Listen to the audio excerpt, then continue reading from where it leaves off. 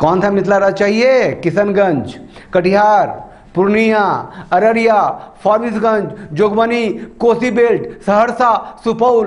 500 सरकारी प्राथमिक स्कूलों का इस्लामीकरण हो गया है, वहाँ मुसलमानी स्कूल हो गया, स्कूलों के ऊपर उर्दू लिखा गया है और वहाँ प्रार्थना करने का ढंग तक बदल दिया गया। ऐसे प्रार्थना करते हैं ना, वैसे प्रार्थना करते हैं और इसके बाद वहाँ शुक्रवार को, शुक्रवार नहीं, वो लोग कहते जुमे की छुट्टी होने लग गई है। नमस्कार, ये मिथिला राज आंदोलन के लिए आया हूँ। बात करने के लिए आया हूँ, दिल की बात करने आया हूँ, क्योंकि दिल से मैं भी मैथिल हूँ। मिथिला से हूँ, अब मिथिला राज आंदोलन से भी कहीं ना कहीं खुद को जुड़ा हुआ पाता हूँ और हिंदी में बोल रहा हूँ, क्योंकि आज भी जो मिथिला मैथिल के नाम से जिनको चिड़ है, उनसे भी हमारा ताल्लुकात है। वो जैसे मघी का क्यों नहीं बोले, वो अंगिका क्यों नहीं बोले, बज्जी का क्यों नहीं बोले, मैथिली के पार्ट है, फिर भी अपने को पार्ट लिया, चलो हिंदी में सुन लो, समझ लो, सब जहाँ भी कहीं हो। क्या हो रहा है मिथिला में? छोड़िए, मिथिला जब बनेगा तब बनेगा बिहार में। कौन सा मिथिला राज चाहिए? किशनगंज, कटिहार, पूर्णिया, अररिया, फॉरबिसगंज, जोगबनी, कोसी बेल्ट, सहरसा, सुपौल। 500 सरकारी प्राथमिक स्कूलों का इस्लामीकरण हो गया है। वहाँ मुसलमानी स्कूल हो गया। स्कूलों के ऊपर उर्दू लिखा गया है और वहाँ प्रार्थना करने का ढंग तक बदल दिया गया। ऐसे प्रार्थना करते हैं ना वैसे प्रार्थना करते हैं और इसके बाद वहाँ शुक्रवार को, शुक्रवार नहीं, वो लोग कहते जुमे की छुट्टी होने लग गई है। क्या हो गया? अगर होने लग गई तो? क्या प्रॉब्लम है? अरे, बच्चे तो हैं, कौन सी नौकरी करते हैं?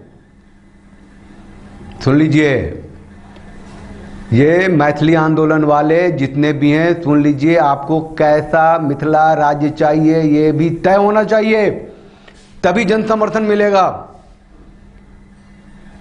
क्योंकि अभी की तारीख में, आज की तारीख में अभी का जो समय है, वो ममता बहन तृणमूल कांग्रेस के चहेते आपके भारतीय जनता पार्टी से जो आए हुए हैं, तृणमूल कांग्रेस जो कीर्ति आज़ाद, उन्हें हिंदू शब्द से अब नफरत होने लग गई है।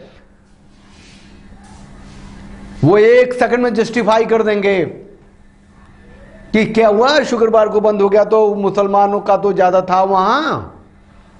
जनसंख्या आबादी हो गई थी। पचास परसेंट से ज़्यादा हो गया था, पचपन साठ परसेंट, कुछ जगह तो सौ परसेंट भी थे। अरे सौ परसेंट थे तो क्यों थे? किसी स्कूल में सौ के सौ प्रतिशत मुसलमानों की आबादी क्यों हुई? कैसे हो जाएगी? भारत का ऐसा कौन सा क्षेत्र है जहाँ हिंदू नहीं है? और हिंदू मुसलमान के नाम पे, और धर्म और मज़हब के नाम पे स्कूल का सिस्टम चलेगा। केजरीवाल की पार्टी भी बहुत इनकलाब कर रही है, वहाँ भी एकदम बबल गम फूट रहा है, वो तो एक सेकंड में कहते हैं क्या हो गया? हम तो सेकुलर आदमी है, भारत माता की जय बंदे मातरम। स्कूल उर्दू कर दो, कोई बात नहीं है। और लालू यादव एंड फैमिली तो जीतते ही रही हैं। मुसलमानों के वोट से, जो मुसलमान के वोट से जीतेंगे, वो उनके विरोध में जाएँगे। ये नीतीश बाबू को उठापटक हो गया तेजस्वी से, उसको उप मुख्यमंत्री बनाए हुए थे, नहीं तो वो भाजपा के पास जाते ही नहीं। और जो फेट फूट की जो सरकार है अभी, जो घुटन हो रही है नीतीश मियाँ को, वो होती नहीं। इससे ज़्यादा घुटन थी। वो लोग मतलब लाठी बीचे कपार मार रहा था, तेजस्वी सब। अब वो जो छोटका तेज प्रताप बरका जो है, वो उसको भी स्वास्थ्य मंत्री बना दिया था तो बेचारे को एकदम घुटने लगा, बोला, चलो मोदी, ठीक है यार, दूर तो है थोड़ा सा। मोदी से मदद ले ली, फिर सरकार मुख्यमंत्री बन गए और अभी बड़े बेचैन थे इधर पिछले दिनों कि दो साल से जो है इफ्तार नहीं किया तो कोरोना खत्म हुआ तो इफ्तार पार्टी कर रहे थे। अब बताइए, नीतीश को नहीं पता होगा कि बिहार के 500 स्कूलों में उर्दू लिखा गया सरकारी स्कूलों में? शुक्रवार को जुम्मा की छुट्टी होती है, रविवार को पढ़ाई होती है, जबकि बिहार में तो आपका सरकारी आदेश है कि रविवार को छुट्टी होगी। नहीं, आप जो कह रहे हैं, इसकी कोई आधिकारिक जानकारी अभी नहीं है हम लोगों के पास। और आप बता रहे हैं तो हम लोग इसकी जाँच कराएँगे। और वैसे भी जो उर्दू विद्यालय नहीं है, किसी के लिख देने से, किसी के कह देने से तो हो नहीं जाता है। सरकार के रिकॉर्ड में जिस विद्यालय की जो श्रेणी है, वही रहती है और वो वही रहेगा। अगर कहीं कोई ऐसी बात है तो ज़रूर इसकी जाँच कराई जाएगी और जो सही है, वो किया जाएगा। लेकिन वहाँ जबरन उर्दू स्कूल लिखा हुआ है और शुक्रवार को छुट्टी दी जाती है और रविवार और शनिवार को पढ़ाई होती है। तो क्या आपको लगता है कि गलत परंपरा की शुरुआत है? नहीं, सबसे पहली बात तो सरकार के साथ कोई जबरन कर नहीं सकता है। और तभी तक ये बात चल सकती है जब तक सरकार के संज्ञान में नहीं है। सरकार के संज्ञान में बात आ रही है तो हम लोग ज़रूर उसको देखवा के जो सही होगा, नियम संगत होगा, वही होगा, ये हम आपको आश्वस्त कर सकते जिस स्कूल में मुस्लिम बच्चे की संख्या अधिक है, शुक्रवार को बंद रहता है। मुस्लिम बहुल इलाका है और यहाँ 100 परसेंट जो बच्चे हैं वो मुस्लिम है। और ये पूर्व नियोजित छुट्टी है। पहले से ही होती आ रही है। ये तो एक संप्रदाय के लिए सरिया का कानून के तहत। पीएफआई फैल गया है। बारूद पे है। बारूद पे पूरा बिहार पूरा सीमांचल बिहार का। बॉर्डर एरिया जो है। समझे कि नहीं? और कहते हैं कि हम मैथिली लेंगे, मैथिली राज लेंगे। जय किससे मदद लेंगे आप? मदद क्या लेंगे? बिना पॉलिटिकल इंक्लाइनेशन के होगा क्या? राज बनता है। अब पॉलिटिकल इंक्लाइनेशन में जो वही हैं, जो कि भाजपा के विरोधी हैं, हिंदू विरोधी हैं, चाहे कि कीर्ति आज़ाद कहते हैं, राज लेके रहेंगे, केजरीवाल के पार्टी कहते हैं, राज देंगे, कांग्रेस कहती है, राज हम तुमको दिलाएँगे। और लालू यादव कहते हैं, हमसे मिलो ना, हम दिलाएँगे। और नीतीश बाबू काहे के लिए कुछ बोलेंगे? वो तो भारतीय जनता पार्टी के साथ हैं। दिल से नहीं है, दिमाग से है। मुख्यमंत्री पद बने रहना है, शायद उनको लगता है कि आखिरी बार ही। है भारतीय जनता पार्टी भी चुप है। इतनी इतनी बड़ी बात हो रही है। नपुंसकों की तरह सब सुन रहे हैं। और मिथिला राज के लिए भैया, हमको एम्स चाहिए, हमको उद्योग चाहिए, हमको हवाई जहाज़ चाहिए, हमको आईटी पार्क चाहिए। हम जो कि पूरे के पूरे इधर सोशल मीडिया पे ट्विटर ट्रेंड चला रहे हैं। सेपरेट मिथिला राज मिथिला राज। कौन सा मिथिला राज? ये तो पहले तय कर लो भाई लोग। कौन सा मिथिला राज? कैसा मिथिला राज? मिथिला राज जिसको कि कह सकें हम, मिथिला धाम, जानकी धाम, कह सकें, या पश्चिम बंगाल वाला मिथिला धाम, केरल जैसा मिथिला धाम।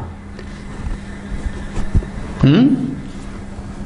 प्राथमिक स्कूल का कन्वर्जन हो जाए था मिथिला धाम। कौन सा मिथिला धाम चाहिए? मतलब सबका सबका मिथिला धाम या किसी एक का मिथिला धाम जवाब ज़रूरी है। और तभी ये चीज़ मजबूती से आगे बढ़ेगी कि मिथिला राज्य कैसा चाहिए। मिथिला राज्य तो छोड़िए, पहले बिहार जो है और जो मिथिलांचल जो है, इसमें कोई शक नहीं है ना? वो जो एरिया है, वो मिथिलांचल इसमें कोई शक है? वो मिथिला की धरती में कोई शक है? उसे तो मिथिला की धरती बने रहने दीजिए। उसके लिए भी तो आवाज़ उठाइए। कोई तो कहे कि स्कूलों का इस्लामीकरण गलत है।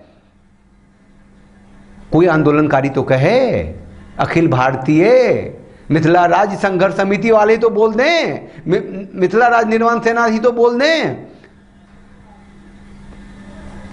और स्टूडेंट यूनियन भी तो है। जो इसमें लड़ाई कर रहे हैं और इनकलाब कर रहे हैं, या फिर यही कहते हैं कि नहीं, ठीक है, हम एक ऐसा सेकुलर मिथिला राज्य परिकल्पना कर रहे हैं, जहाँ स्कूलों में की, स्कूलों में, शिक्षा में, उद्योग में, हर जगह धर्म और जनसंख्या के आधार पे जो है प्रतिनिधित्व होगा, जिस स्कूल में साठ परसेंट मुसलमान होंगे, वहाँ रोज़े होंगे, इफ्तारी होंगे, शुक्रवार को छुट्टी होगी, ज़्यादा हिंदू होंगे तो रविवार को छुट्टी होगी। किसी खास एरिया में सिख होंगे तो उनके लिए पता नहीं, वो तो उनके लिए गुरु पर्व की जैसी कोई ज़्यादा अधिक दिन की छुट्टियाँ होगी, क्रिश्चियन हो गए तो अब अब तो यहाँ भारत गुलाम था 200 साल तो तो बड़े दिन की छुट्टी होती ही थी। तो चलो, मज़हब के आधार पे, धर्म के आधार पे छुट्टियाँ उन्हें शुरू होंगी बजरंग का दिन है, मंगलवार उस दिन शुरू हो जाएगी छुट्टी। तो बहुत खतरनाक चीज़ है, बहुत खतरनाक चीज़ है। पीएफआई मिला है पटना में और दरभंगा में उसकी जड़ है, लोग गिरफ़्तार हुए हैं। गिरफ़्तार इसीलिए हुए हैं कि कानून अपना काम कर रही है। राज्य सरकार का कानून नहीं, केंद्र सरकार का कानून और डंडा किया हुआ है। दो चार दस गिरफ़्तार हुए हैं, लेकिन जड़ें पकड़ लिए हैं। स्लीपिंग टूरिस्ट घुस गए हैं। आप लोग सचेत हो जाइए और अपने को राजनीति से अलग रखने की भूल मत कीजिए। और ये सब चीज़ें जो हैं, राजनीति संवर्धन के बिना संभव नहीं है। चलिए, जो मन में था कह दिया, अपनी प्रतिक्रिया अगर आप देना चाहें तो दीजिए। जय मिथिला, जय जय Mithila. Thanks for watching drop a like leave a comment and don't forget to subscribe to watch more videos like this